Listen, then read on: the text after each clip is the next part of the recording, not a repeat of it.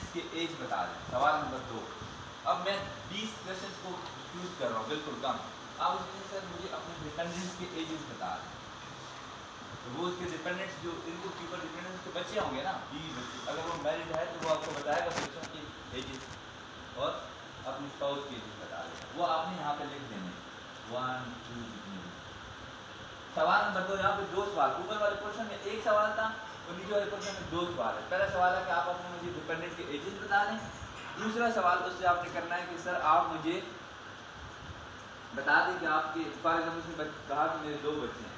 तो आप उसे उनके अकॉर्डिंगली पूछें कि, सर, इसमें आपके बच्चों की एजुकेशन के लिए आपको कितने पैसे चाहिए होंगे और आपके बच्चों की मैरिज के लिए आपको कितने पैसे चाहिए बस। ठीक है?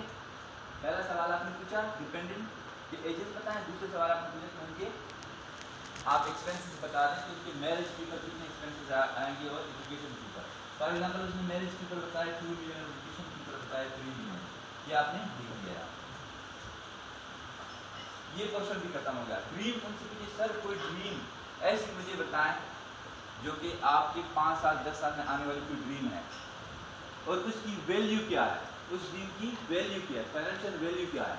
सिंपल क्वेश्चन है। सर आपकी कोई ऐसा ड्रीम मुझे बताएँ मुझे सर शेयर करें। कि आप उसकी फाइनेंशियल वैल्यू क्या है? मतलब घर हो सकता है ड्रीम कुछ भी तो आपको बता देगा अगर वो कहता है, मेरा कोई ड्रीम नहीं है तो आप उसको नहीं कर दें। अगर बताता है तो वो आप उस ड्रीम की वैल्यू फाइनेंशियल वैल्यू पूछें ठीक हो गया?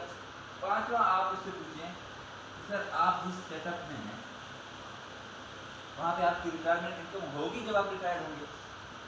ठीक है? ये यहाँ पे आपने पांचवा सवाल पूछा।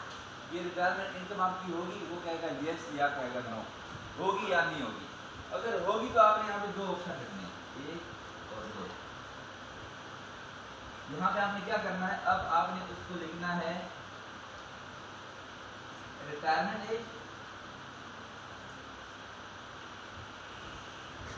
यहाँ पे आपने दो ऑप्शन लिखने एक लिखी सिक्सटी और एक लिखी सिक्सटी फाइव वैसे जो रिटायरमेंट एज पाकिस्तान में सिक्सटी है, लेकिन हम इसको सिक्सटी फाइव भी इसीलिए करते हैं क्योंकि अगर आप एक एजेड बंदे से मिलने जा रहे हैं, उसकी एज फिफ्टी से अबव है, या फिफ्टी फाइव है फॉर एग्ज़ाम्पल तो हम उसको कोई रिटायरमेंट प्लान नहीं दे सकते।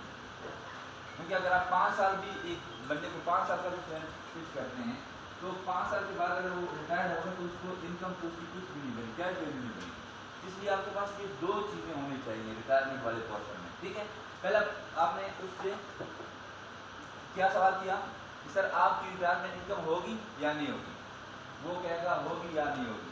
फिर आपने उससे दूसरा सवाल ये करना है कि सर, आपकी करंट एज क्या है? तो आपने उसकी करंट एज से वो फॉर एग्ज़ाम्पल वो है थर्टी तो आपने वो मन की कर दी यहाँ पे उसके आ जाएगा वर्किंग लाइफ ठीक है? वर्किंग लाइफ ये टोटल आपकी आ गई है, पूरी आप जिसे कहते हैं फैक्ट फाइंड और दो मिनट का फैक्ट फाइंड आपके पास उस बंदे की सारी चीज़ सामने आ गई। तो मैंने उस बंदे की फाइनेंशियल प्रोटेक्शन कितनी रखनी है? ठीक है? उस बंदे की मैरिज या एजुकेशन में उसको कितने पैसे चाहिए? और उस बंदे की कोई ड्रीम है, अगर तो उसको कितने पैसे चाहिए? और पाँच, चार, चौथा है कि वो बंदा रिटायरमेंट की किस स्टेज पे रिटायर्ड होगा? कितने साल उसको रहते हैं रिटायरमेंट के? और उसको हम रिटायरमेंट प्लान पिच कर सकते हैं कि नहीं?